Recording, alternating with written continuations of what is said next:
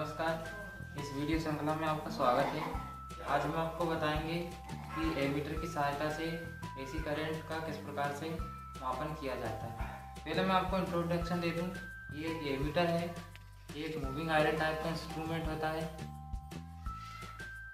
Metre generally दो प्रकार के होते हैं। एक डिजिटल इंस्ट्रूमेंट और एक एनालॉग तो ये एक एनालॉग इंस्ट्रूमेंट है।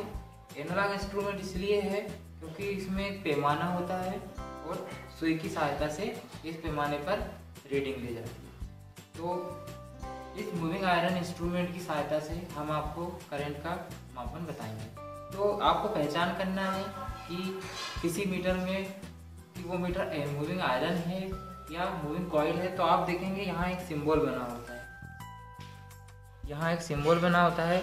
ये जो सिंबल बना हुआ है, एक लाइन खींची हुई है उसके चारों तरफ़ ऐसी जिगजैग टाइप की लाइन बनी हुई है। ये मूविंग आयरन का मूविंग आयरन एमीटर का सिंबल है। मूविंग आयरन इंस्ट्रूमेंट का सिंबल है और चूँकि ए लिखा हुआ है, इसका मतलब ये मूविंग आयरन एमीटर है ठीक है? तो इस पर एक अंशांकित पैमाना होता है यह पहले से कैलिब्रेट कर लिया जाता है। अब उसके अंदर, अंदरूनी पार्ट्स का मैं आपको इंट्रोडक्शन दे दूँ।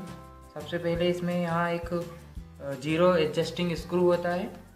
ये ज़ीरो एडजस्टिंग स्क्रू है, इसकी सहायता से आप इस सुई को ज़ीरो पे एडजस्ट कर सकते हैं। जैसे अभी देखें यहाँ, ये ज़ीरो पे नहीं है। यदि ज़ीरो पे नहीं है ये तो आप इसको इस ज़ीरो एडजस्टिंग स्क्रू की सहायता से सबसे पहले ज़ीरो पे एडजस्ट कर सकते हैं। ठीक है? उसके बाद अब हम आपको इसको ओपन करके बताएँगे।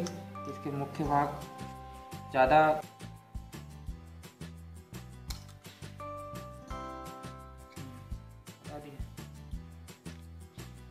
तो जैसा कि आप देख रहे हैं, इसकी कंस्ट्रक्शन कोई ज़्यादा जटिल नहीं होती है। इसमें कुछ चार या पाँच मुख्य भाग होते होंगे, होते हैं। जैसा कि आप देख रहे हैं, इसमें एक मोटी कॉयल होती है, क्योंकि कॉयल का गेज हमें मोटा रखना होता है, क्योंकि एमीटर को हमेशा सप्लाई के सीरीज़ में ही जोड़ा जाता है। जिस भी इंस्ट्रूमेंट को आप मेजर कर रहे हैं, जिस इंस्ट्रूमेंट से करेंट को आप मेजर कर रहे हैं, उसे हमेशा एमीटर के सीरीज़ में लगाते हैं। और चूँकि एमीटर की सीरीज़ में लगाते हैं तो पूरी की पूरी सप्लाई करंट आपकी इस कॉयल में से होकर गुजरती है।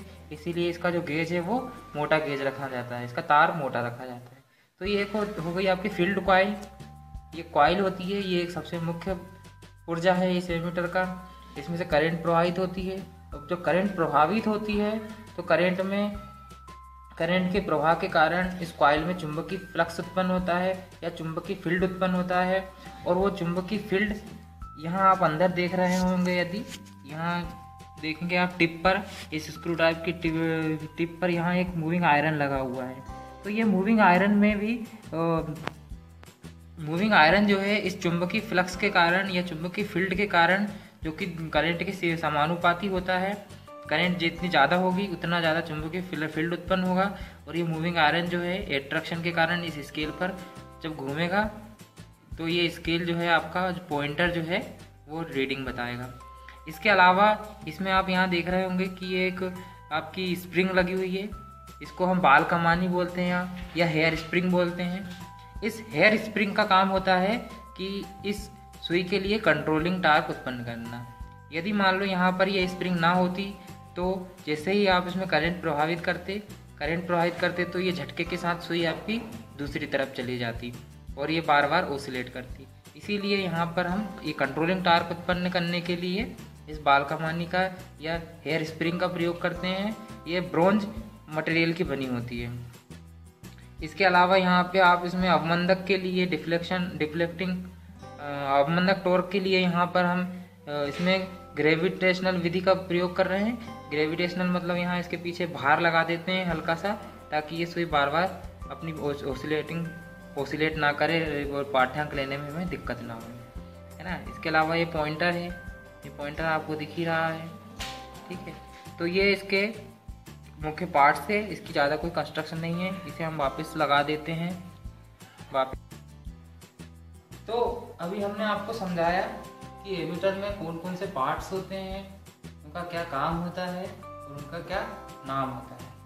अब हम आपको बताएँगे कि ए मीटर की सहायता से किसी डिवाइस के द्वारा ली जाने वाली करेंट का मेज़रमेंट, उसका मापन किस प्रकार से किया जाना चाहिए। तो यहाँ मैं आपको बता दूँ कि ए मीटर से मेज़रमेंट करते समय आप हमेशा ध्यान रखें कि ए मीटर का काम करंट का मेज़रमेंट करना है।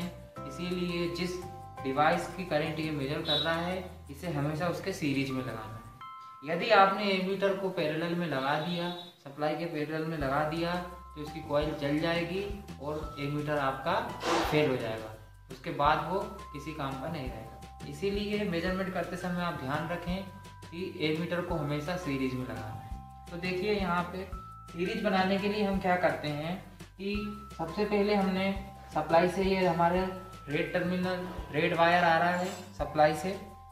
इस रेड कनेक्टर को हमने जो डिवाइस है हमारी, यहाँ पर हम प्रोजेक्टर का यूज़ कर रहे हैं। इस प्रोजेक्टर के जो कनेक्टिंग लीड है, उस कनेक्टिंग लीड के एक टर्मिनल पे हमने ये कनेक्टर जोड़ा हुआ है, ये इस प्रोजेक्टर को फ़ेज़ दे रहा है।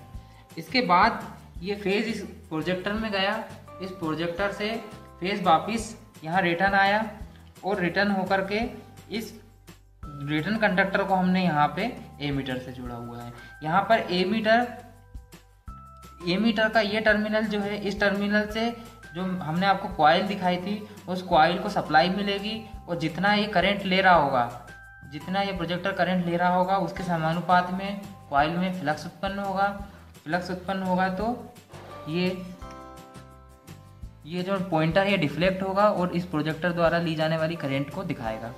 उसके बाद ये रिटर्न कंडक्टर होता है। ये रिटर्न कंडक्टर जब तक आप सप्लाई के रिटर्न कंडक्टर से नहीं जोड़ेंगे न्यूट्रल से नहीं जोड़ेंगे, तब तक आपकी ना प्रोजेक्टर काम करेगा, ना ही एमीटर काम करेगा। तो इस प्रकार से अभी आपने समझा कि एमीटर का कनेक्शन किस प्रकार से करना है।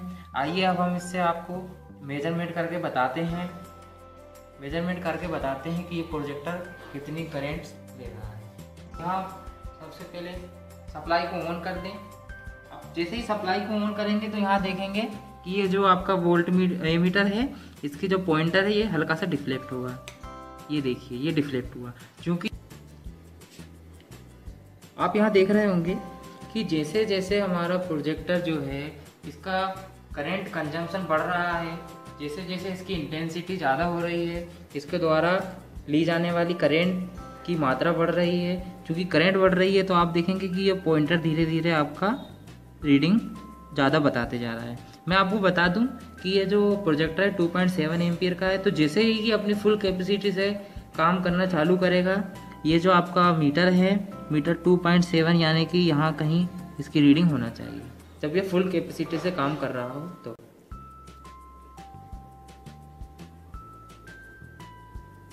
धीरे धीरे इसकी रीडिंग बढ़ रही होगी। अभी एक एम्पियर के आसपास आ गई है इसकी रीडिंग तो कहने का मतलब ये है कि यहाँ आप कनेक्शन तो समझ चुके हैं। धीरे धीरे इसकी रीडिंग बढ़ जाएगी, जैसे जैसे फुल कैपेसिटी से काम करने लग जाएगा। तो उम्मीद करता हूँ कि इस वीडियो से अब आप एमीटर मूविंग आयरन एमिटर के बारे में पर्याप्त ज्ञान अर्जित कर चुके हैं।